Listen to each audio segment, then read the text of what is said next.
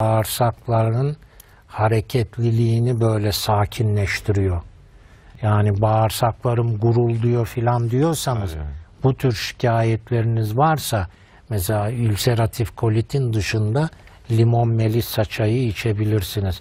Hem bağırsaklardaki gazı alır hem de iyi bir sedatif etkisi var. Evet.